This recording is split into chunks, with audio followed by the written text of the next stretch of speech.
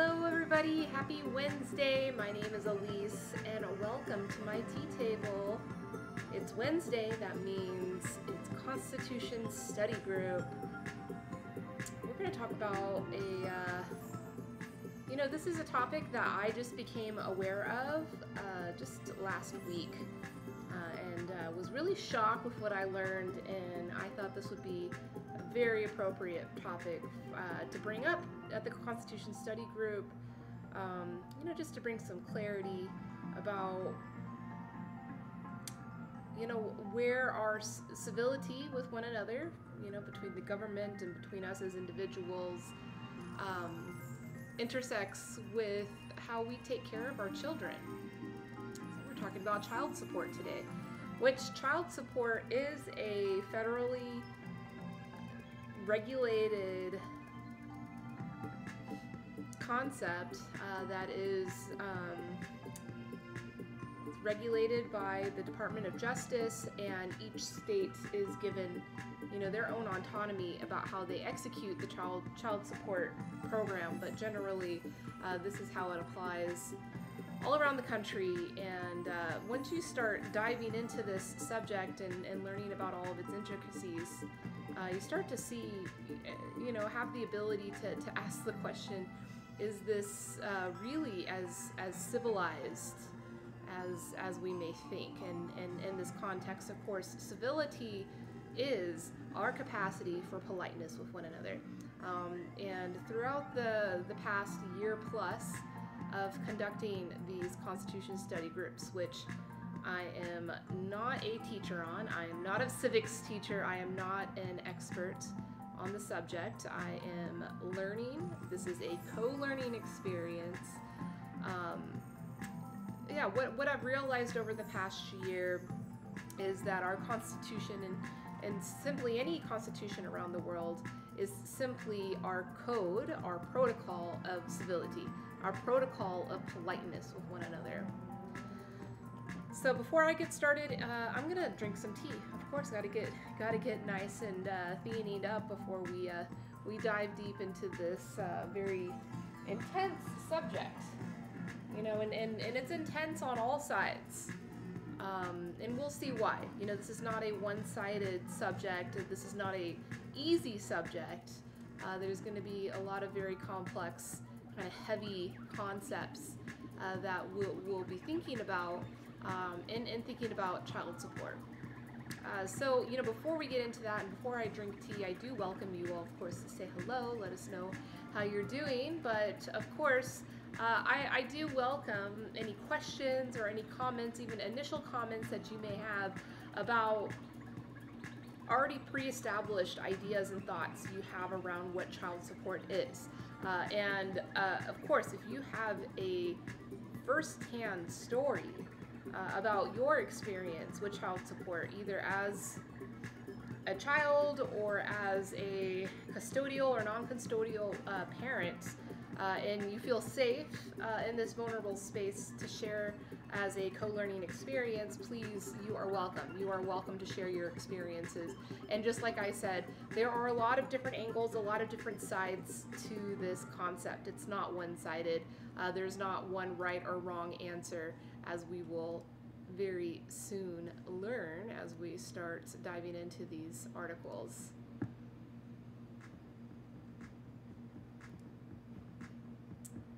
As always, music provided by our dear friend Justin Sojourner. I know this is going to be backwards for all y'alls. But Sojourner, he's based here in Las Vegas. You know, I tried, I've been trying to play with some new music and it's just frustrating finding finding music that that is good and then you know also ethical and available uh, to be using on these live streams. So Justin has been gracious enough to allow me uh, consent uh, for us to enjoy his um, his music while we uh, we sit at the tea table and drink tea.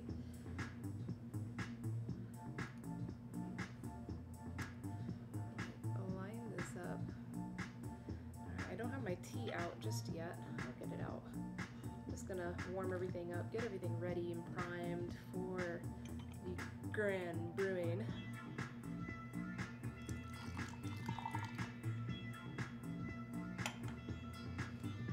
Let's see, what to drink? I was thinking I should have some green tea because I've been drinking things other than green tea. Actually, I'm gonna drink something that's not tea. I'm gonna drink, this is uh, Joe's tea. This is an herbal blend. Hopefully it won't heat me up. Yeah, it should be a pretty cooling, cooling blend. Our, our, our good friend Joe from Cedar and Sage Herbal, Sage and Cedar Herbal Wellness out of South Dakota. He sources a lot of the herbs, uh, and he also sources tea. That's how he's friends with us. He sources tea through our network, uh, but he also sources a lot of the different herbs and ingredients that he works with uh, from local farms uh, in his area there in the Midwest in South Dakota.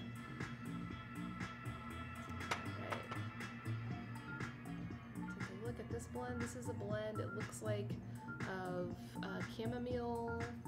Looks like some um, basil. I mean, I could just read the package. It's probably the best. Completely accurate for you all. Um, oh, so it's cedar, California poppy, passion flower, chamomile, and peppermint. So that was actually cedar. Interesting. The California poppy.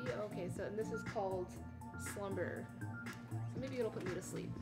I don't think it'll put me to sleep, but you know, I think it'll definitely like relax my mood. It smells great. Very calming kind of aroma to it.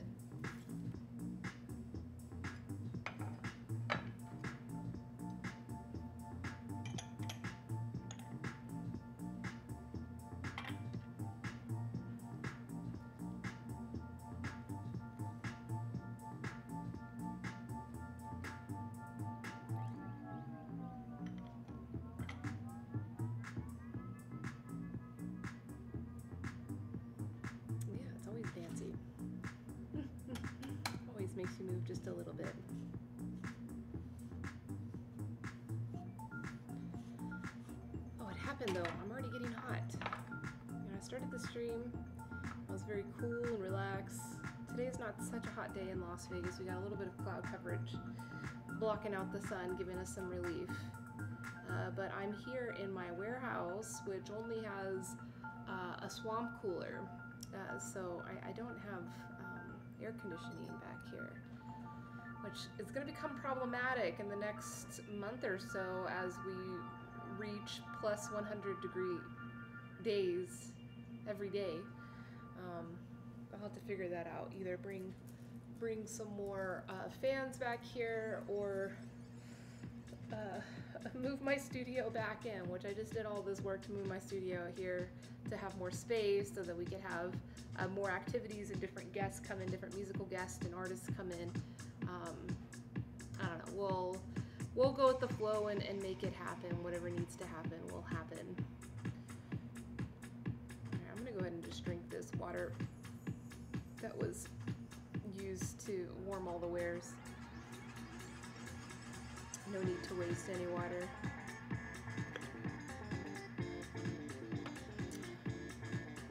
I'm gonna turn down this super high energy music a little bit. In the background, a little background music. We should be steeped. The the pieces in this tea are quite small, so I'm gonna be using my my filter so that um, I don't get any into my brewed tea that I'll be drinking. Although it probably wouldn't be the end of the world if that happened because I'm quite sure that Joe is only working with organic farmers and organic ingredients.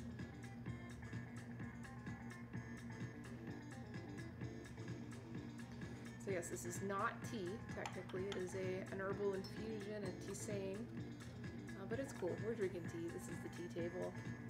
We're allowed to call it tea.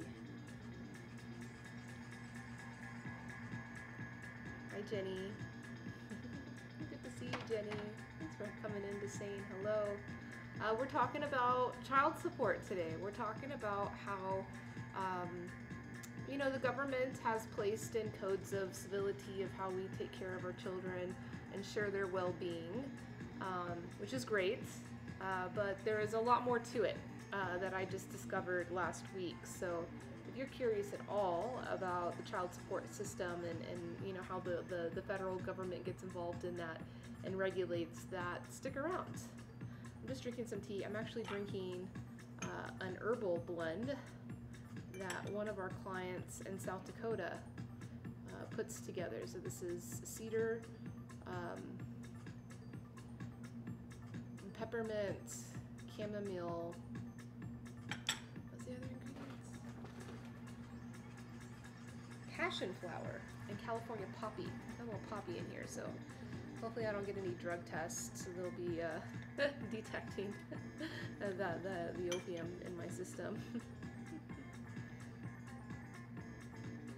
so not tea, just enjoying a nice herbal. Mmm. I'm gonna have cookie chai. That's great. Nice cooling tea. I was actually thinking I should have green tea because I'm in my warehouse now and it's quite warm back here. So, you know, I keep making the mistake of choosing warming teas to drink while doing the streaming. Um, and so I end up like breaking up into a crazy sweat in the middle of the stream, and there's really nothing I could do about it other than just sweat it out. Um, so I was like, oh, I should do green tea, but then I saw this tea and I thought, you know what, this will be fine. It's got peppermint. I think peppermint is a cooling a cooling herb. Um, it's certainly delicious. I'm, I'm grateful that I, I chose it.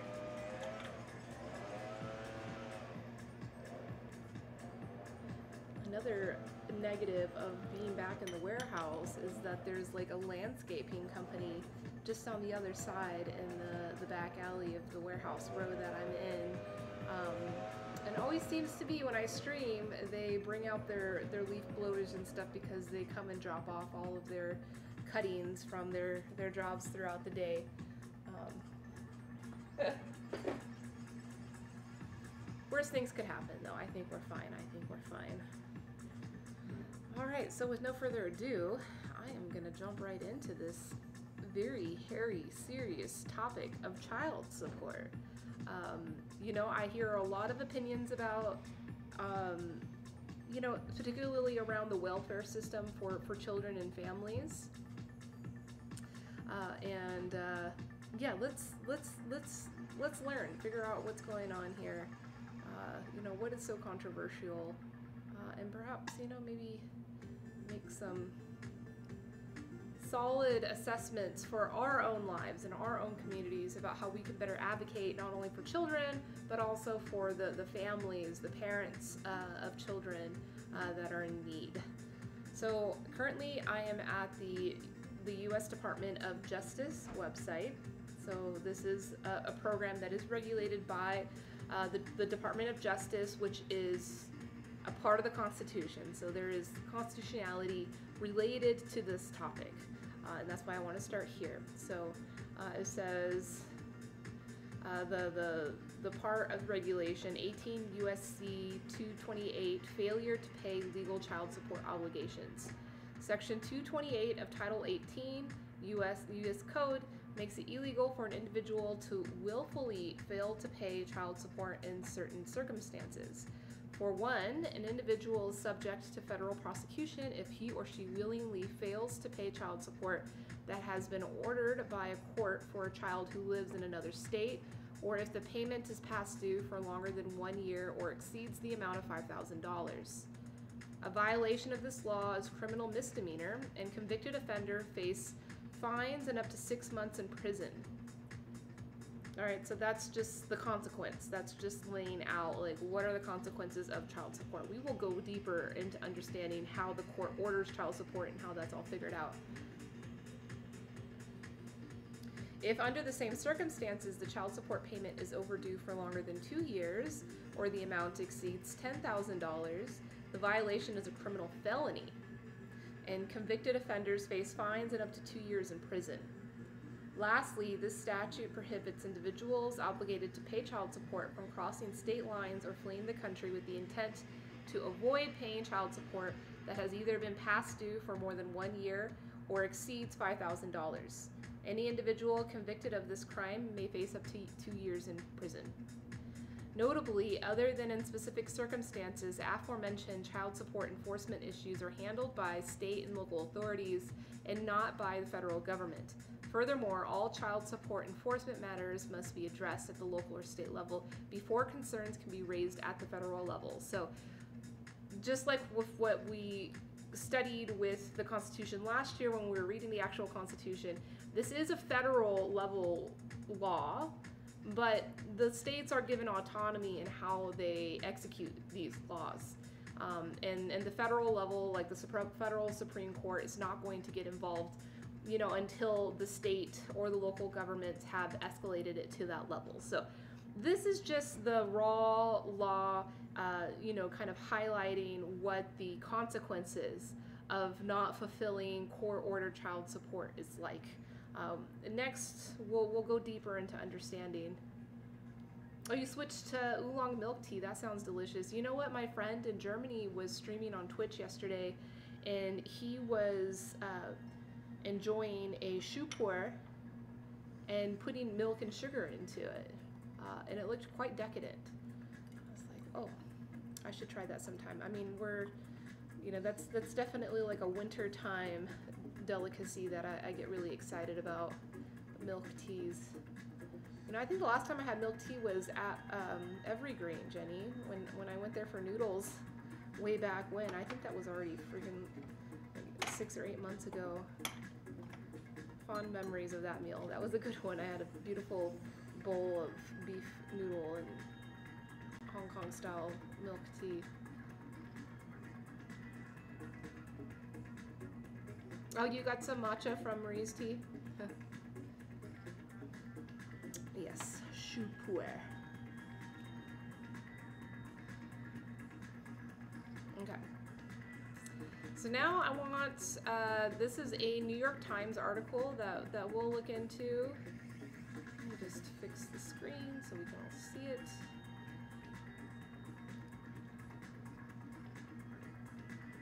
It's titled, this is New York Times, right? So I, don't, I mean, I don't know what kind of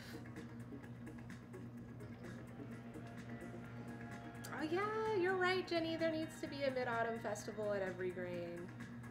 That's a great idea. Now that we can all come back together and, and, and be together in gr groups again. I think the timing for that would be great. I'm in full support of that. I'll, uh, I'll serve the tea, no problem. All right, so the title of this article is The Child Support System Should Support Families, Not Government Coffers. Okay, so I'm just jumping right in. Uh, you know, I, I don't want to spend too much time because all of these articles, even though they're making very direct kind of statements uh, and, and, arguments uh, for child support reform, uh, th there is going to be laced within these articles how exactly uh, the, uh, the, the state governments will court order child support. So I, I don't want to like double up researching all that stuff when it's already in these articles. So um, this is written by Kenneth Braswell. He's an executive director of Fathers Incorporated, a nonprofit organization that promotes responsible fatherhood and mentoring. It says child support is considered an anti poverty program because it forces non custodial parents to contribute financially to their children's care. But it also operates as a government cost recovery strategy by reimbursing states and the federal government for benefits paid to mothers on behalf of children. As such, families on temporary assistance for needy families only receive about a quarter of the child support collected on their behalf. Okay, so that's like a really important, shocking stat right there. You'll be fully vaxxed by the 14th? That's great. That's awesome. Yeah, I'm already a month in. I mean, I did it for my trip to India. Uh, I was not in a hurry to get vaccinated, actually. Um, I'm perfectly fine just handling my, my own responsibility in this pandemic. But uh, when I started planning the trip to India, I thought it was really important and responsible if I was going to be going to these uh, different communities that I be vaccinated. So I've been vaccinated for over a month now. Haven't really utilized it much. Um, and now that now that we're on the honor system about vaccination, it makes me wonder, you know, is it even really worth it? But, you know, that's a whole other topic. Maybe we can talk about that uh, next week. You know, I think that could be a good topic for Constitution Study Group next week. Um, but yeah. yeah, I you know I think that the trip to India may be becoming possible soon. Maybe.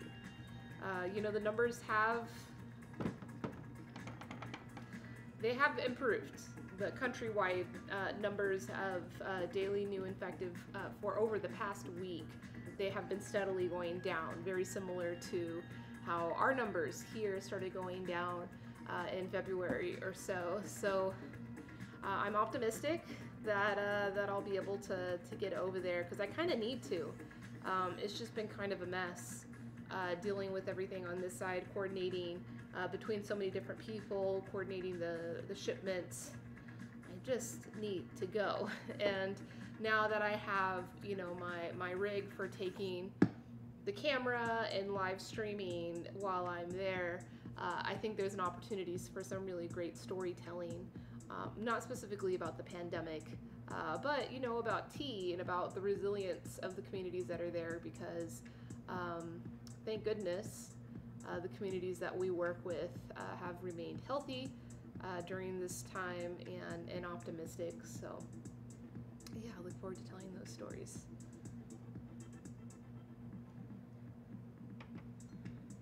but it seems like it's kind of troublesome going anywhere. I had heard that Taiwan was going to be reducing uh, for vaccinated people was going to be reducing the required quarantine to just a week. Um, but that was requiring a special application, special permission, uh, which has not become publicly available. That was supposed to happen all a few days ago, and it hasn't yet. So, you know, I don't know uh, the status on that, unfortunately. But yeah, it would be great to go to Taiwan um, go go check out on our friends there, see how they're doing. Because supposedly, uh, life has remained quite normal for them. Um, but you know, of course, they're not allowing a lot of people to uh, to go. Oh, your mother-in-law is gonna stay. Yeah, yeah, because I heard it's like it's like a two-week quarantine, but I think you can do it in local housing uh, which is kind of a relief because the uh, the hotels, you know, the government sanctioned quarantine hotels. Oh yeah, I saw that recently. Actually, I should check that out. I'll check it out after I finish the stream. I, I wanted to check that because I did hear that there was starting to be a spike in Taiwan. It's strange how this happens, right? Pandemics are really strange. It's like right whenever you think that everything is under control, and I think India is a great example of that because if you look at the spikes that they've had already, they're very minimal. They, they weren't so you know affected, but um, you know what's what's being credited to what they're dealing with right now was uh, uh, local elections that was having politicians and other political groups organizing large rallies on the streets. And because they didn't have such an issue like, like we had here, um, the mentality around the pandemic was very different. Um, and then just boom, you know, you let your guard down and it's in a different place. And so that's why I'm like, I'm really cautious, even as being vaccinated now. Uh, here with how the just overnight, I feel like the mentality has changed you know the CDC tells you one thing and the whole mentality changes. Um, which you know, knock on wood, it, it's okay. You know, maybe there was some truly misunderstood intelligence behind uh, that statement by the CDC. Uh, just knowing, you know, how pandemics work beyond what I know. So, wishing for the best for us that we don't have to deal. Uh, you know, more so than just the disease itself, but like all the lifestyle interruptions and, and market interruptions that have been happening as a result of lockdowns or quarantines or stay at home orders, whatever you want to refer to them as. Okay, so back to child support. Uh, the stat that I thought is really important, and that was the stat that really blew my mind about this whole program. Because before I read this article last week, I thought child support was something that was like independently dealt with in in in, in civil court. That you know uh, a custodial parent petition for non-custodial parents to uh, provide financial support, um, and that is like not true by a long shot. Only 25% of all court ordered child support, that's all child support, be it, you know, through a nasty divorce custody battle in court or through a, an automatically state ordered court ordered child support, only 25% actually go back to the families themselves. 75% is absorbed by the government. Um, and it it's not as corrupt as that sounds directly. It's not it's it's to pay back other programs. I how, how did uh, Jay uh, dealt with child support? I don't know. Should I reach out? Should I reach out to Jay? And I'd love to hear some stories. Like I, you know, now that I'm curious about this, I want to hear stories. Yes. So yeah, uh, thank you for sharing that, Jenny. So Jenny uh, is a small business owner here in Las Vegas, and she just informed us that as an employer, when there's a court order child support, a certain amount of a paycheck has to be held for the government for that. So there's like no getting away from child support. Uh, once the court has ordered it, and, and most of the time, it's like automatically ordered by the court. It's not like from a nasty legal battle, you know, between uh, an ex-wife and an ex-husband. Most of the time, this is the government collecting back on its money, making sure that they get paid.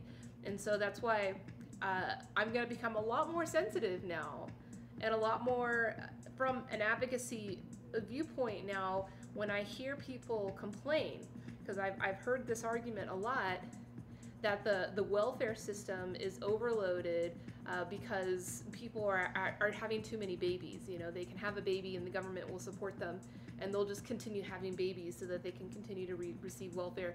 Well, uh, the father is going to have to pay that and the government's going to make sure that they get paid, you know, through the employer or in another article that I'll share through other, you know, parts, which then brings into question systemic problems uh, that that marginalized and oppressed particular communities, uh, specifically through this this program. That's just mind blowing.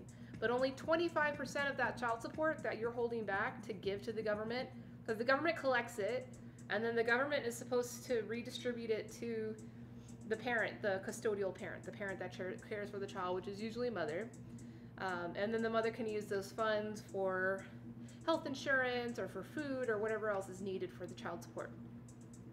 But only 25% of that money will actually reach it to the uh, to the families, to the child, to the custodial parent of the child. 75% of it is absorbed by the government and never to be seen by the child again. Though the child has benefited from that money before, either through Medicaid or through other um, like EBT programs, food stamp programs, all those things are always going to get paid back. The government keeps track of all of that and they're going to make sure that they always get paid back. And for me, like that was just mind blowing. So the next time I hear someone complain about the welfare system and how people just have children to um, to exploit it, like no, that is not a valid argument because uh, the government is always going to make sure that they get the cost recovery strategy. That's what they call it. Hey, Ted. Child support orders are also proportionately very high given many men's low incomes. 70% of the national uncollected child support debt is owed by non custodial parents who have no quarterly earnings or who have annual earnings of less than $10,000. So it's, yeah, it's a system that disproportionately affects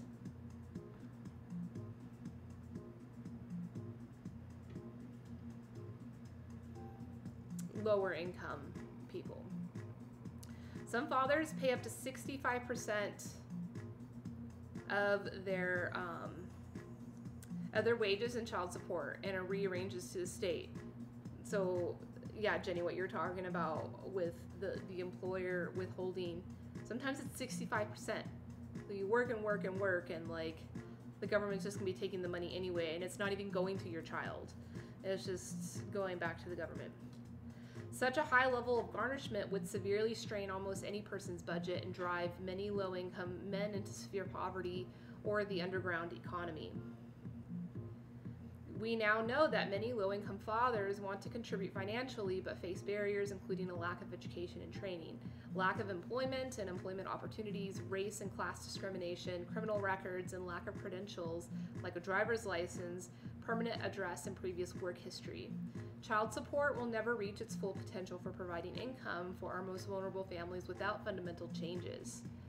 Child support payments should be passed through to the custodial parent in their entirety instead of being used to recoup uh, government spending on children. Payments should be set reasonably with greater flexibility to adjust to the non custodial parent's income. Fathers can now request a review, but only if they know their rights and can navigate the judicial process, which the majority do not. Fathers need to be armed with the training and skills to compete in this global economy so that they can support themselves and pay child support. Training and employ- employment supports can be either mandatory or voluntary, but they should be available. Punitive methods to coerce a deadbeat dad into paying, like incarceration, should only be used in cases where fathers demonstrate that they have the means to pay but are unwilling to fulfill their obligations, not when they are unable to. The Federal Office of Child Support Enforcement itself has said that the average incarcerated per- parent with a child support case has $10,000 in arrears when entering state prison and leaves with $20,000 in arrears. Not only is this debt unlikely to ever be collected, but it adds to the barriers formerly incarcerated parents face in reentering their communities. So there there is interest that that gets charged to this, and that's you know one of the reasons why it becomes this continuous cycle that that they can't get out of. So now knowing this, I don't know about you all, but I just know from my perspective, uh, I'm gonna have a lot more sympathy, a lot more space uh, for for people that are dealing uh, with this issue, and uh, you know, do if if reform is not possible, and I did do some research on reform, uh, such as what uh, the writer of this article was suggesting, is that change needs to be implemented. Um, it's from what I could read, reform is not on the horizon. There is certainly a movement, there is certainly advocates that are advocating for reform, but it doesn't seem to be on the horizon. It doesn't seem to be on any for either party, for any party's priorities and their platforms. Uh, it doesn't seem to be something that is likely in the near future. So, the solution, at least from what I think, and in my efforts to be more civilized and my effort to support a stronger community where we can take care of each other, I think I you know I think that what what can be done is to um, encourage mothers to be informed on this. Because at the end of the day if this is an issue of a mother choosing uh, childcare so like think about this situation if it's medicaid right? Medicaid is um, for a single mother could be quite feasible to to qualify for. And when you're struggling and facing uncertainty facing you know how how the future relationship with the father of that child will be um, it may seem like no questions go down that route because everything is paid for. You know medicaid is great when it comes to childcare uh, no matter what consequences you have in the delivery of your child everything is going to be taken care of of course because the government wants to make sure that you have a safe pregnancy. Good. Um, but women don't know this. They don't know that this problem is going to happen because this is going to automatically trigger the state to open up a child support case for the father, regardless of her consent or not consent. The only place where she actually can have some kind of control in this is if she thoroughly looks at all of the options um, and and makes the right choice. And with um, the current you know tax credits and and and and, and, and uh, medical insurance support that is out there, it is by far a more positive financial decision uh, to to not take Medicaid. And you know, if anything, communicate communicate with the father of this child about what the options are and what the consequences will be. So both the mother and the father uh, should be educated on this, and that's why I wanted to do this talk today because no one knows their future. Uh, anything can happen. And so the best thing that we can do is just constantly be aware of what all of our options are and you know what is possible because you know like I, have read several other op-eds on this topic there's a lot on it this is not an underground thing like this is very well known lots of people are advocating for this and talking about this and a, a lot of criticisms that i've seen about this system is that it tears families apart. And I get that. It's like, of course, money tears people apart, money creates conflict. And so it may be very scary to approach your partner, uh, approach the father of your child to reason with them and, and, and, and, and come up with some type of resolution that would help with the well being of your child. That can be very scary and that that could bring fear that it'll negatively impact your relationship with that person and ultimately the relationship of that person with your child who, who is their father and in most cases the, the father. But if you like even unintentionally unknowingly force a father into this system into this systemic, oppressive, cyclical system unknowingly. I, I, bet you most women that that that that do end up getting into the system of, of collecting child support didn't even intend to do it. They didn't even know what they were doing. They just thought, oh wow, free medical care, food stamps, great, this will support my family, not knowing that that was going to turn into something that could you know create a lifelong cycle of incarceration for the father of their child, that will tear a family apart. Like, for sure. For sure. No matter how much love is there, no matter how much support and caring is there. And it could all be completely unintentional, completely unknowing that, that you, you've done that. Um, so yeah, it's very important uh, to, to explain these options. And so I do encourage you all, since you are all educated and knowing on this, that um, you know if if uh, you do interact with with young mothers uh, or even young people that aren't even mothers yet, and just let them be aware of this, it could be very powerful uh, in helping someone's life and helping uh, a family's relationship. It could be very powerful because it doesn't look as if reform is anywhere coming. Probably in the future. You know, at least reform to the like cut dry because the first the first article I shared with you was an article. This was coming from the Department of Justice website, federal government's website. It's very black or white.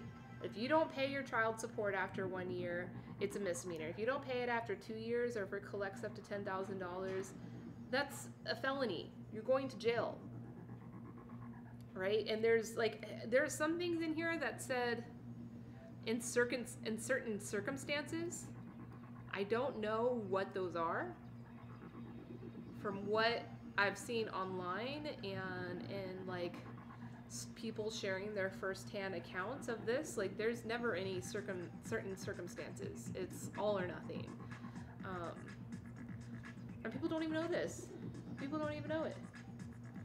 And you know, like I've heard too that uh, states, because they want to recoup their costs. Yes, Kayla. Yes, Kayla. You have that absolutely correct. and that's un- unknowing. I mean, Kayla, you're a very intelligent uh, young woman.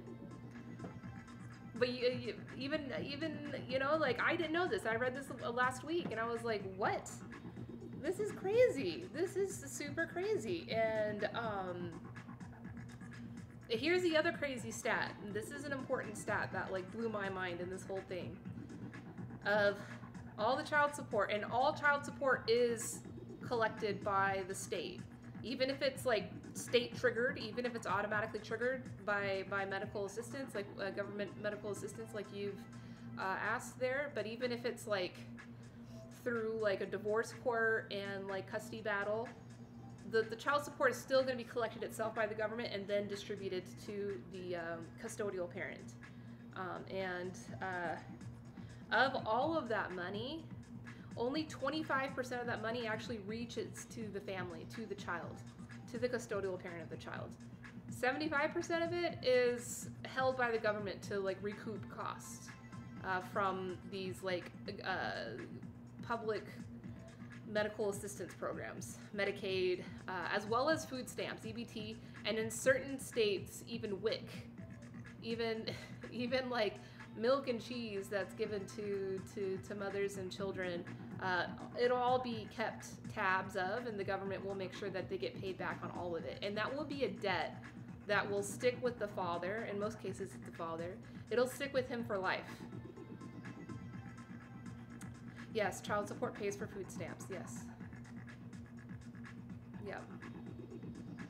Yeah, so, you know, like I was saying earlier, if I ever hear the argument again uh, of somebody, I'm not going to say what type of person would make this argument, but I have heard this argument that uh, women take advantage of the welfare system by having children. Because, yes, the government is going to make sure that you have a healthy pregnancy, that you're cared for. Uh, they're going to make sure of that. Um, but they're also going to make sure that they get paid back on it. And more than likely, they won't get paid back, but they will put that father into a continuous cycle of incarceration. It's pretty crazy. It's pretty crazy. So, um, and this article kind of talks more about this. It's, it's titled "Criminalizing Poor Fatherhood." Um, you know, in that the the stereotype of the deadbeat father. Um, is so skewed because it's perpetuated by this system. It's it's supported and perpetuated by this system. So, you know, I think that like oh, oh, oh, and then here's something else that a lot of states have started to do because they do want to make sure that these funds get reimbursed for for these social programs. Um, patern, uh, what do they call that? Uh, paternizing children uh, like uh, assigning parenthood to children is really important to states and i've heard that they've started to use genetic database information so like um, 23andme and, and those types of like programs where you send in your your spit i think you give them your spit and then they give you like a genetic readout of like where you're from what your ethnicity or not your ethnicity but your um, your uh, your genetics are from. But those are databases. Those are like extremely valuable, uh, controversial databases uh, that um, you know the governments are using to solve crimes. I heard about this, but now they're even using it to assign parent, like assign fatherhood to children, uh, so that they know who to go after for child support.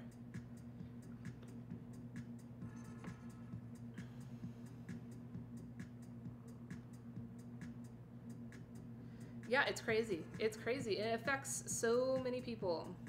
So here's a, a story. Um, unpaid child support is having an impact on someone. The support has been paid in full to the state that it is owed, but the current state they live in is not receiving the update. It's impacting a potential mortgage. Yeah, so that affects your credit and also your criminal record, right? Because after two years, the, the federal law says if it's uh, proven to be unpaid after one year, it's a misdemeanor. If it's proven to be unpaid after two years, it's a it's a felony. Yeah, of course the offices aren't communicating with each other. It's states. So, uh, and the states like they, they make it very clear. The federal government, I should say, not just the states, but the federal government, they make it very clear that you can't You can't change states to avoid this problem. You know, they're, they're going to find you.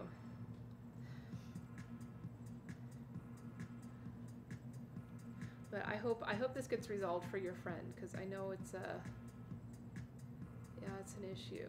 It's an issue. And you know, even if the child support is like fully ordered through a, a civil trial directly between the two parents, so like not state ordered, not triggered by, you know, state benefits programs, but literally, you know, a mother asking for child support to help pay for health insurance and food and other supplies needed in the house. Um, you would think 100% of the child support would go to the mother, but uh, depending on the states, there are fees. You have to pay child support fee to the state for handling that. So, um, you know, another reason to maintain civilized relationships uh, because yeah, the exchange of value and financial support, I'm sure no father wants to deny that. But once the state starts getting involved and these fees start getting involved and potentiality of your your criminalization gets him involved, it's uh I mean at the end of the day the ultimate thing that hurts is the child because that affects the relationship um, you know, not only between the father and the, the, the, the mother, but, you know, just like the father and the institution of fatherhood in this country, you know?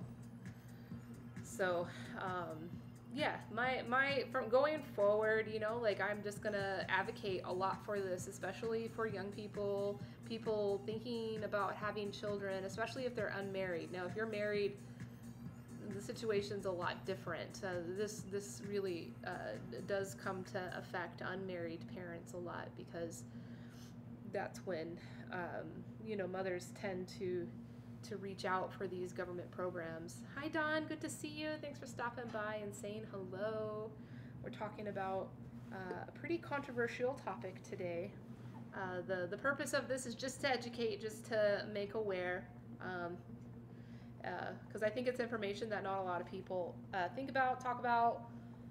Because frankly, you know, like it, for a lot of people, this seems like such a faraway problem, um, but it is a, a real, real problem.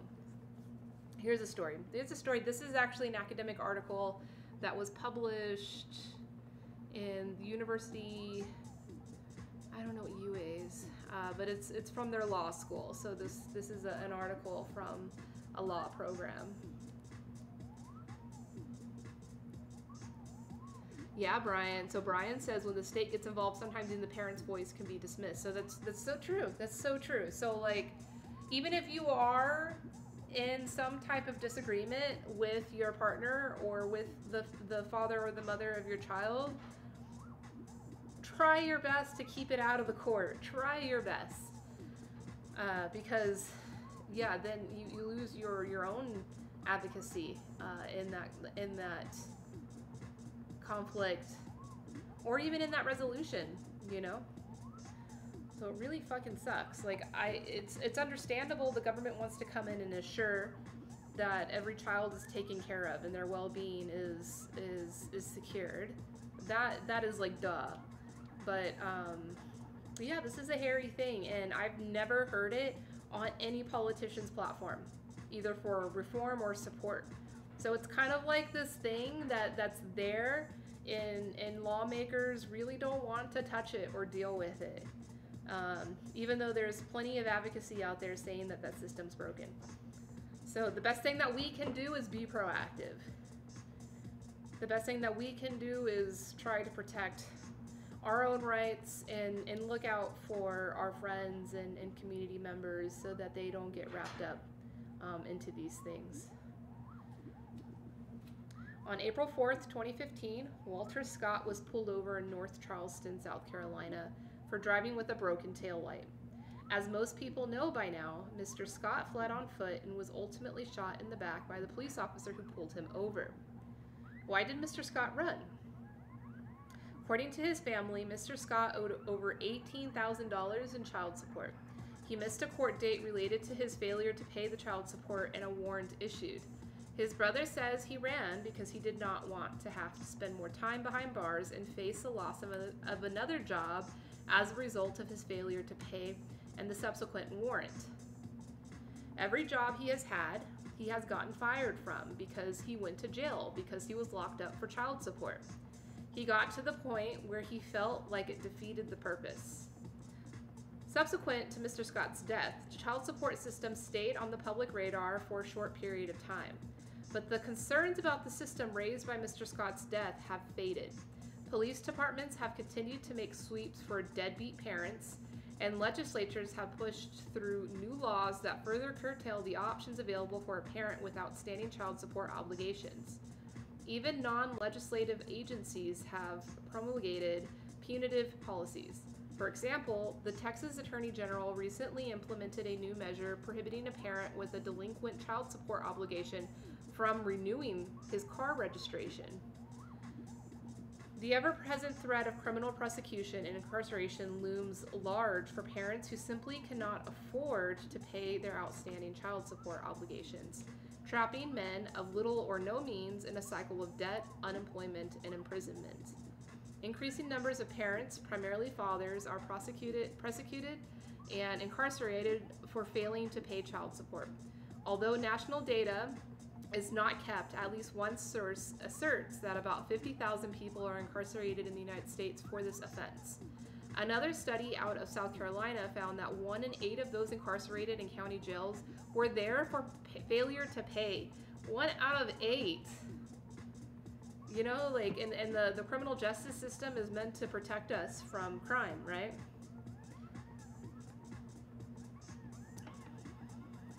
One out of eight.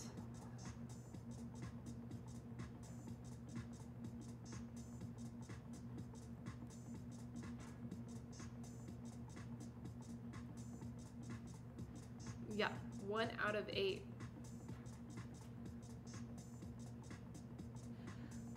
But Brian, um, yeah, you're right. It is unfair. I mean, sometimes the mothers don't even want the child support. It's like, yeah, I've already remarried and I'm financially secure. I don't even need this child support. And the father is still obligated. And that's because of these like black and white black and white lines that are drawn in the system versus really holistically trying to restore the relationships here. Like that should be the ultimate goal on this is not only making sure that finances are covered and everybody is secure and and taken care of, uh, but we got to protect the relationships because that's what's going to really affect the future outcome of that child's life if they have a healthy relationship with their father. Yeah, it happens a lot, and then and then the father becomes a criminal. So fatherhood becomes criminalized, and and this is significantly staggered towards low income communities, which just so happened to coincide with you know people of color. Go figure how how that makes sense, but um, it's sad. It's really sad. Uh, not to say that this is not a problem that affects all type of people, but uh, it does significantly affect um, mostly black men. Um, although all, all you know, people of color.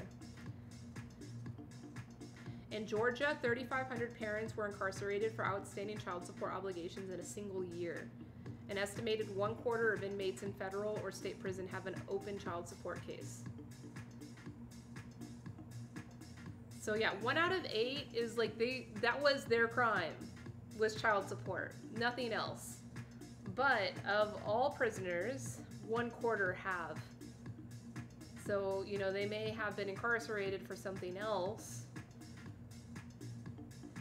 but that time that they are in prison, obviously they're not working, they're not paying child support. And those child supports, they do accumulate interest.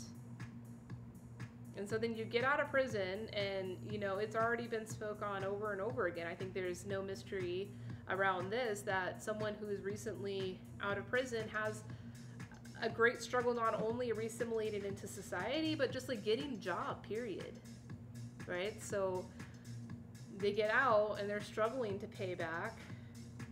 And uh, if they get a legit job like a real tax job like we would hope them to get the employer is automatically going to take that money out from them. They won't even have the choice of like getting back on their feet. Because as jenny mentioned earlier um, as an employer she's had to take money out of people's paychecks assigned for child support. So I, yeah i've read some horror stories of people just getting out of prison. They're lucky enough to find a job but then don't get any of their that money because it's all just going back to, to pay back the back child support. And so what's that going to do? That's going to get you to, to hate the system, you know, and, and potentially even hate the institution of fatherhood, which is like, no, don't do that. Like, that's the worst thing that we want because that affects the relationship with the child. But it, it, it encourages people to dig themselves deeper into a criminal lifestyle because you know your criminal lifestyle is not filing your pay stubs with the government and, and collecting automatically collecting your, your unpaid child support? Crazy crazy. And all this done in the name of civility you know which is understandable. But you know we just like like i said i think the only thing that we really can do actionable thing that we can do is inspire ourselves, educate ourselves, and help inspire and educate the ones around us uh, to be proactive um, in dealing with these. Yeah, I'm sure in Albuquerque, there's a lot of stories there. Brian says, um,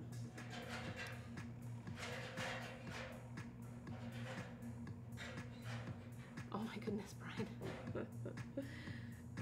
yeah. yeah, I wonder what this, what's going to be coming of that. You know, people that aren't um, Bitcoin. You want to come say hi? Come here, buddy. Yeah, Bitcoin. You don't have to worry about child support, boy. They took care of that at the vet a long time ago. Bitcoin, Bitcoin don't have no babies out there. That's a good thing.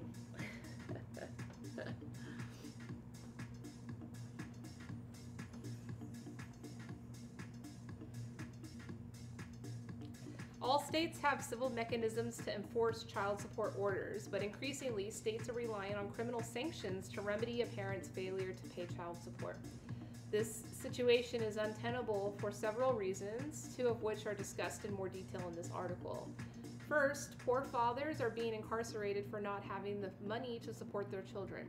These prosecutions not only violate the Constitution but also uh, contravene the prohibition of debtors' prisons.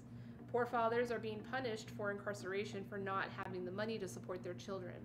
Second, and even more troubling from an institutional perspective, fathers with little to no income are helping finance the government's child support enforcement system. Federal law requires custodial parents who receive state assistance to assign their child support payments to the state. Thus, any child support payment by the non custodial parent will go straight to the government as reimbursement. For the state assistance it has provided to the custodial parent. If the father does not pay the child support as ordered, even when the failure is due to insufficient income on which to live and pay the debt, the government punishes the fathers with criminal charges or possible incarceration for not reimbursing the cost of the state assistance. In other words, poor fathers are being criminally sanctioned and incarcerated for failing to finance the government's welfare programs and child support system despite their inability to do so. you like the Bitcoin reaction video? That was that was fun. Bitcoin's gonna be making a lot more of those types of videos. Yeah, the guy, the guy, uh, the original poster of that video, his name is Andrew Fox. He is a uh, he does um, like Broadway musical. Uh, he's been in that industry for 20 years, I think he said. Uh, so he posts a lot about like music theory and, and music. Um, uh, but he does get involved in like civil rights and advocating for various perspectives to help us better understand our civil rights, um, which I appreciate that he uses his platform for that. Um, and yeah, he uh, he used his platform to talk about decolonizing tea, which I was just like, yes. Um, and uh, I was chatting with him this morning, and hoping, yeah, we'll get to do some collaboration, um, you know, and expand that education. I'm, I'm, I'm really happy to see that he's interested in that topic because there's not a lot of resources available for that subject. Um, you know, there's that one article, I don't know if you've read that article, the link that's on the bottom of that React video, uh, bit.ly slash uh, decolonize tea that is a very thorough article article uh, about this subject, but there's just not a whole lot on it. Um, you know, and, and another thing that I think is really curious, and I'm like seeking out the best methods to open this Pandora's box of sorts um, around decolonizing tea is that the conversation of colonizing tea a lot of times, for good reason, is focused on the British. the British method of of, uh, of of tea culture, and how the British and the Europeans were responsible for colonizing tea, which is true. Uh, but I think there's other levels and other layers of colonization that are often overlooked. Um, uh, you know, such as the question of, um, you know, you think about the original places where tea was, and we're talking about thousands of years ago, um, even up until some hundred years ago. Some. I don't have the exact date, that's why I say some hundreds of years ago. I don't know the exact date of it. Because, uh, uh, frankly, not a lot of this has gotten published because it would threaten the current uh, narrative. And, you know, nothing I love doing more than questioning questioning the narrative. Uh, but um, that like the the places of origin of tea, the original places of origin of tea, which you know I've spent a good amount of time in those places, uh, getting to know the people, getting to know the tea, and uh, seeing the reverence that there, like feeling it. You can feel the reverence that's there. You can feel the lineage between the people there and, and the, the tea trees there. It feels very different than other tea cultures that I've been exposed to, including my own tea culture. I definitely, I, I cannot claim any kind of lineage uh, to tea myself. I am just a student trying to learn. Um, but that oh, that doesn't get talked about. And the one time I did talk about it, the one time I brought validation to that. Um, and it wasn't through Yunnan, it wasn't through Guizhou, it wasn't through any province in China where you got these 3,000 year old tea trees. This was in India, you know, and that's what really blew my mind. It was like, I'm feeling this lineage, not even in China, it's in India, and this is valid. Like, I don't understand it, but I want to document it and I want to tell this story. And I think through telling that story and giving it a voice will help stimulate what needs to happen next, uh, which you know will complete that narrative and give us a more full picture of the lineage of tea and who's colonized it or not colonized it and how we can restore those lineages and also support the evolution of the culture right because in, in decolonizing things it doesn't mean that we just want to take it back to its roots, it means we want to respect those lineages, allow them to continue, but then also support an evolution of, of, of new lineages, of, of new culture. And you know the response that I got from the uh, dictators of the narrative, that's not valid.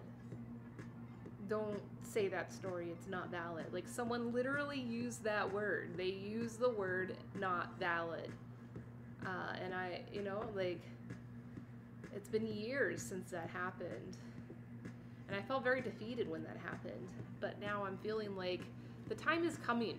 You know, when someone like him, somebody who's not a tea professional, someone who is a musician, that's just um, a social media creator, uh, you know, trying to tell the stories around culture, when someone like him starts to notice the concepts of de- decolonizing a product such as tea, uh, you know, I, I, feel like it, it opens up an opportunity uh, for this storytelling to really happen. Someone on TikTok named Carrot Cake just joined. Love that name. Thanks, Carrot Cake. Thanks for joining in. Yeah. So, um, yeah, that's that's a good one.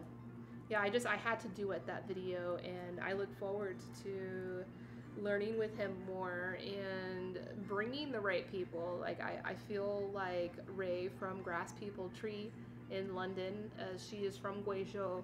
Uh, she grew up there, and um, now she's in London, uh, experiencing, you know, that culture, uh, and then paralleling that to what she grew up with, and you know some of the cultural challenges that she's experienced in her own community. I think she's the perfect voice to amplify for this.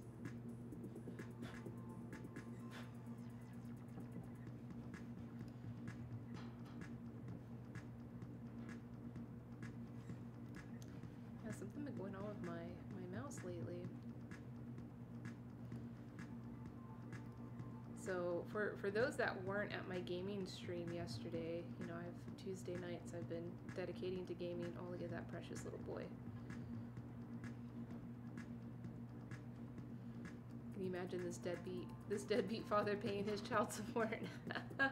Bitcoin. Bitcoin's on the screen. He's just passed out. He's such a cutie.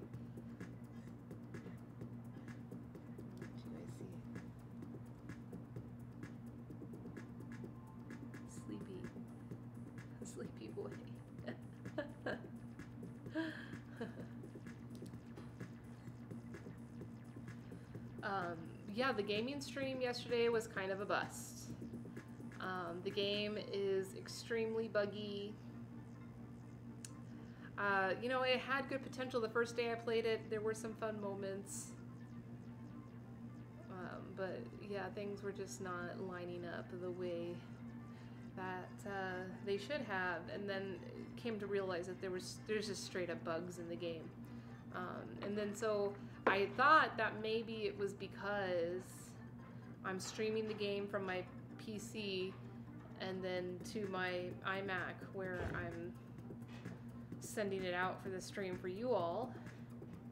But um, so I thought, okay, let me go home and play the game on my PC only. And so I did that, and it didn't help. Still had the same bugs and the same problems going on. So it's the game itself. So I think by next week, I'm gonna look for a new game to play.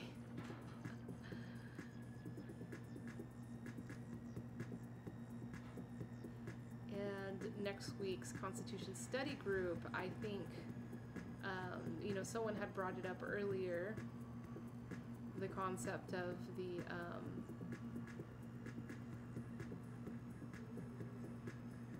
you know, the CDC, so like the constitutionality of um, CDC recommendations, uh, particularly in regards to the current mask uh, honor system. Um, yeah, might want to look into that, deeper into that. Hi, Marco. Good to see you. Good to see you. Talking about a subject today that I hope you never have any any kind. I hope no one ever has any kind of negative um, interactions with the child support system, but it's a very serious one, and you know, I've, I've pretty much have finished already going over all the articles, but uh, just a little recap because I think it's important for all of us to be educated on this. Like, really freaking important, especially if we want to be like anti-racist and empowering to marginalized communities. Really important to know this. If a mother receives state supported, state supplied financial support, healthcare support, Medicaid, food stamps, these types of things, if the mother receives this on behalf of a child, the state will automatically trigger a court ordered child support order for the father that will be attached to him for the rest of his life. And it does accumulate interest. You cannot run away from it if you try to go to a different state. And even in this, in this time, people uh, try to uh, not claim fatherhood um, and uh, even if the mother doesn't put the father's name on the birth certificate uh, with uh, databases of genetic information, it is possible for states to assign fatherhood to somebody even if they tried to remain anonymous, and they will collect to reimburse those state supported financial programs. Um, that's a problem. And where it becomes a problem is that it mis- uh, it uh, it targets you know lower income men in particular, um, and puts them into cycles of incarceration and, and criminalization. Federal government says that if you do not pay for one year, it becomes a misdemeanor. If you don't pay for two years, it becomes a felony. Uh, one out of eight men in prison are there because of this, and uh, 25% of of, of people in prison have some type of child support account that is unpaid.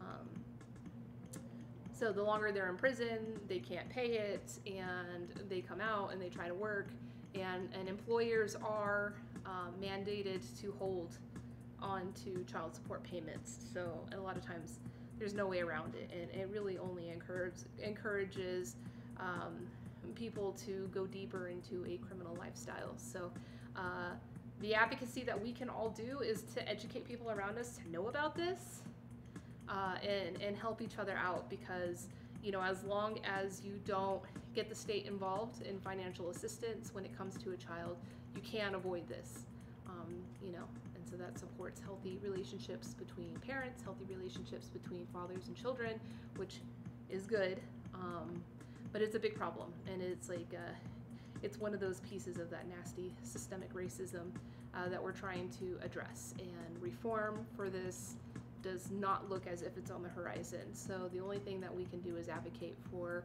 uh, proactive education.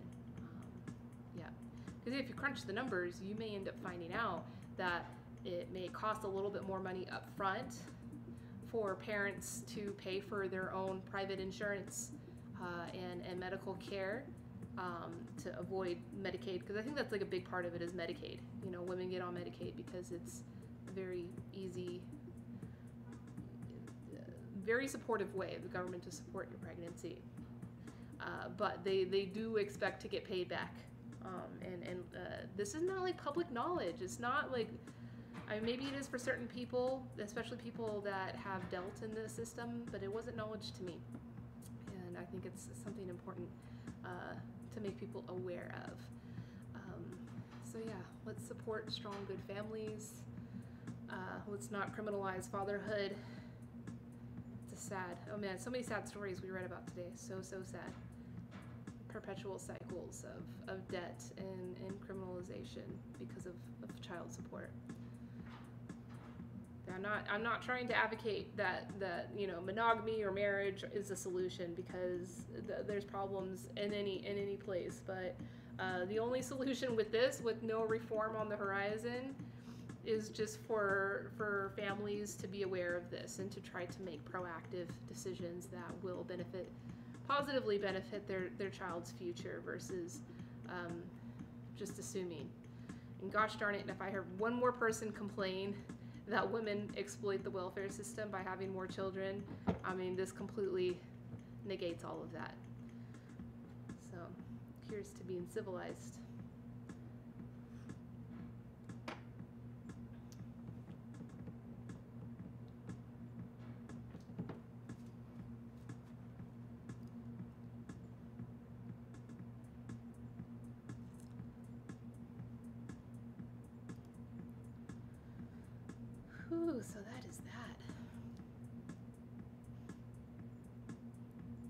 How you been? I hope you've been well. I've been keeping up with your work. We're going to be doing, uh, I was talking about it a little bit earlier, we're going to be doing, as part of the next virtual tea festival, a decolonizing tea workshop with Ray and um, Charlene. Charlene is the one that wrote that article, um, you know, it's time to decolonize tea. Um, so I look forward, I look forward to opening these conversations. Sensitive conversations, but important ones. Extremely important.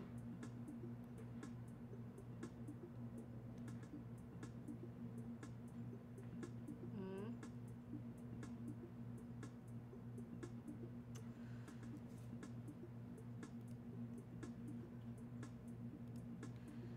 Well, I think that's it. Bitcoin, what do you think? We already shared all the downer news. but uh, the positive news is that there are a lot of people uh, that, that want to be great parents, that are raising beautiful children. Oh, what am I drinking today? Actually, Don, this is interesting what I'm drinking today. Thanks for asking me. Uh, I'm not drinking my typical, my typical fare. I'm actually not even drinking tea today. I'm drinking an herbal blend. It is uh, cedar, peppermint, passion flower, chamomile. Very relaxing. Oh, and pop, uh, uh, poppy, California poppy uh, leaf.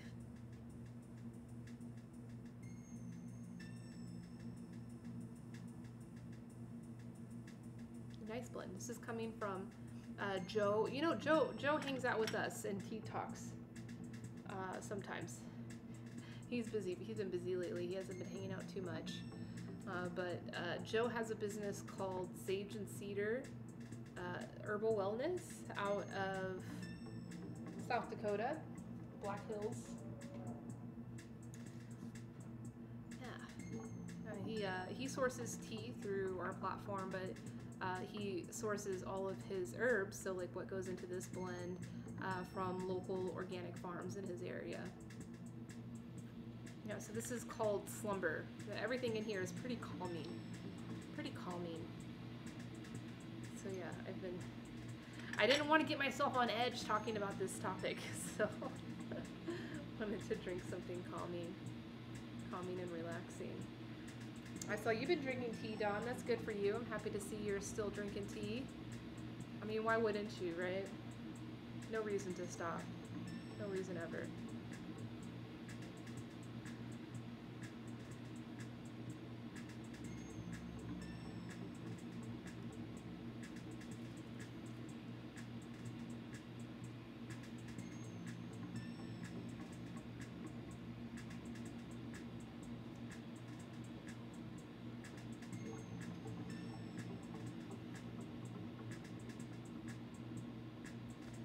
Tomorrow we should have uh, a nice time hanging out in the uh, virtual tea space. And then Friday is International Tea Day, which is uh, a holiday. Um, the UN, so the UN has actually taken over it. So there's probably going to be a lot of different programming going on. I know a few different things, so um, I don't know. I, I decided not to create any programming on that day just because I want to support the programming that's already out there. But um, I'll talk about it on my stream.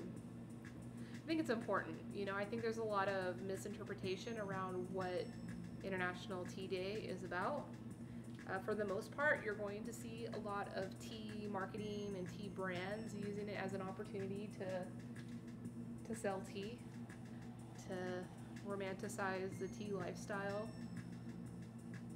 But actually, and you know, now since the UN has taken over the holiday, um, you know, they're they're being a lot more proactive and letting the world know that it's actually a holiday that is uh, for observing and celebrating um, the communities behind tea, the communities that make tea.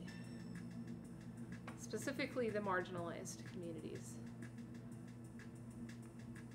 Which, if you hang out enough at this channel, you'll know.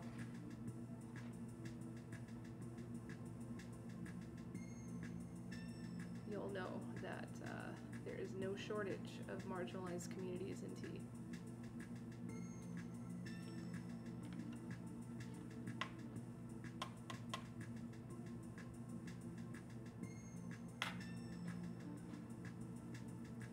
You know, the last time I was in India, there was a lot of very interesting commercials for tea. I thought, you know what, it's actually good. You know, even though the commercials aren't my my favorite, but I think it's good because it's helping introduce a new perspective around the tea lifestyle for um, the Indian community, which for so long and, and, and, and going to be for so long, chai is the backbone um, of not just Indian tea culture, but just like Indian culture in general, right? Um, but it's not just tea, you know, it's so much more than just tea. It's satiation, it's um, decadence, it's comfort. Um, and uh, the new commercials that I the new commercials that I've been seeing. That's funny. Of course, sexualized women. Go figure. Uh, the new commercials that I've been seeing about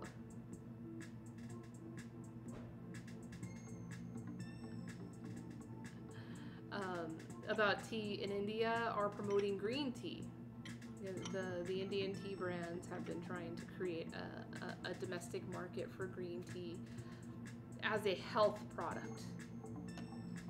And um, it's like really obvious. Just uh, showing showing people like trying to get rid of their stomach fat, and it's like you know they just start drinking these green tea tea, ba- tea bags and magically their belly goes away. Again, see, not the type of commercial.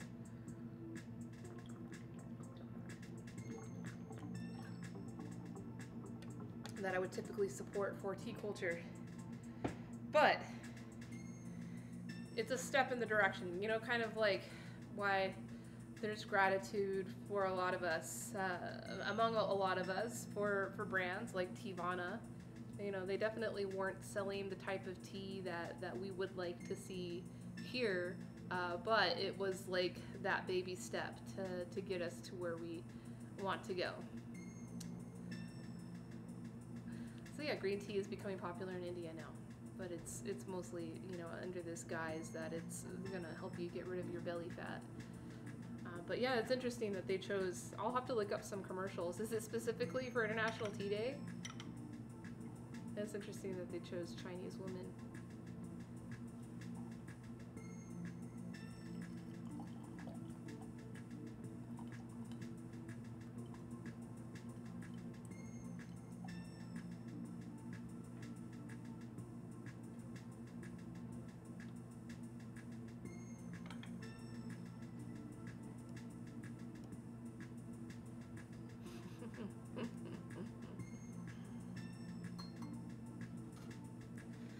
And those commercials were not trying to be subtle. Like it was like, you know, somebody really struggling with their belly fat.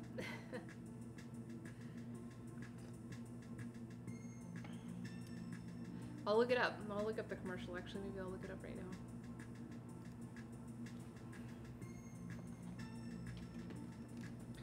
Oh, YouTube.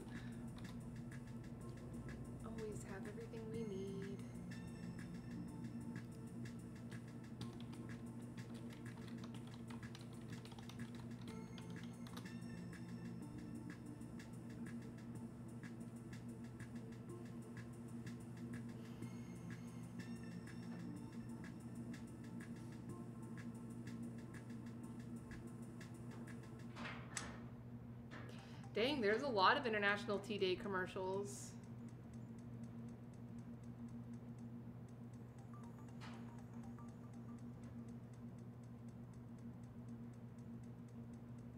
Oh, you saw it on Facebook?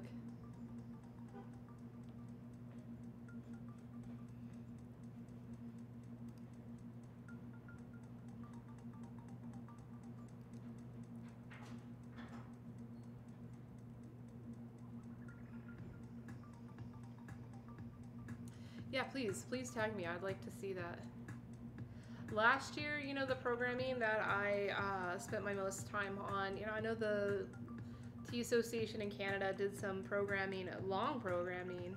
Um, I found the uh, the programming from the UN to be really great. Actually, they live stream, you know, this conference that they had.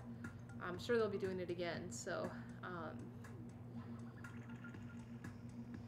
I'll be sharing that to all of our socials so everybody gets to see it.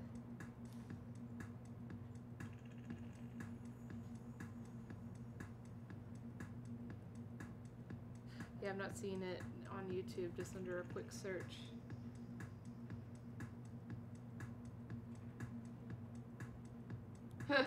Brian, yeah. Hey, I didn't say that I agreed with all of Teavana's practices, but you know, it's it's one of those things that like uh, you've got to say thank you where you know where there is even limited gratitude to be had.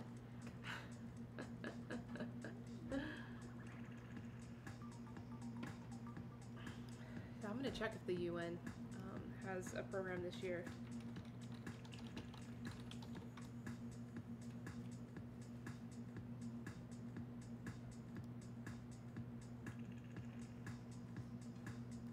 Did work for them, Don? Oh, you were flattered they wanted you to work for them, yeah.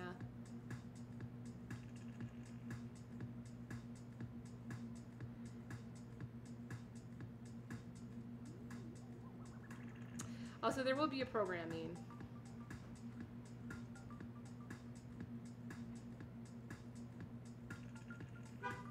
Oh, I guess not.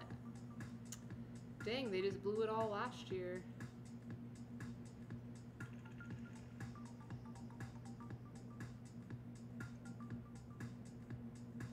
The UN has a pretty cool website. Here, I'll show it to you. Has a pretty cool website um, for it.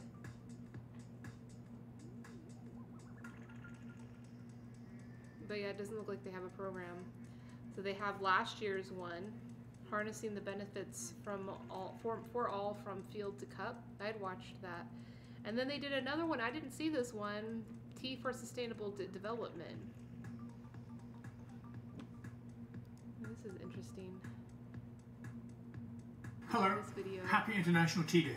My name is John Snell, and I have been privileged to be working with the FAO and EBRD on a review of the Georgian and Azerbaijan tea sectors. My job in this is to assess quality and suggest remedial actions if at all required. I look at five different characteristics for tea. Brightness and colour first of all. Does it look like a good cup of tea? Thirdly, flavour. Once I taste it, does it live up to the promise of the appearance? Fourthly, body. That's viscosity, but really is the promoter of positive qualities of tea. And finally, astringency, which delivers positive bite at the front end and allows the flavour to linger long after you've swallowed the tea. Happy International Tea Day. Goodbye. I don't know, Jon Snell. Sorry, don't agree. But, you know, it was a good try.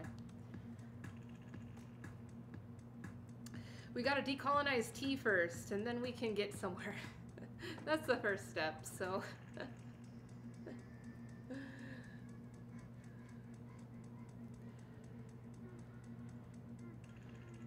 yeah, Brian, I saw the article you sent me. That's pretty funny. That's pretty funny. Yeah, don't let your crypto your crypto value be known, or else the the state's gonna try to collect it for your child support.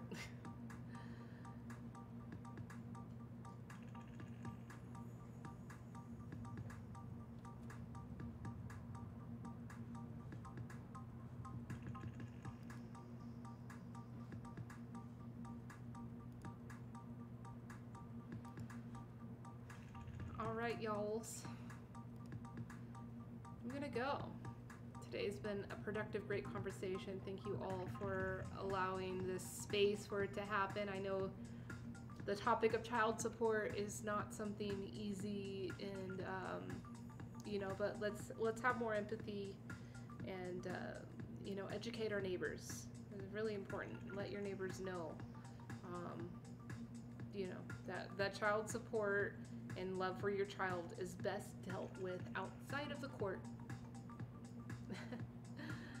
yeah, for several reasons. But um, I'm gonna head out now.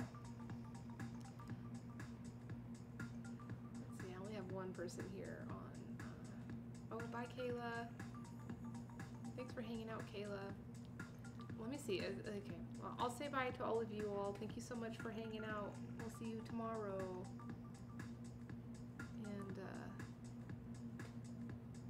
Gonna see if there's someone that we can raid. Since I've got you here, Kayla, we can go raid somebody.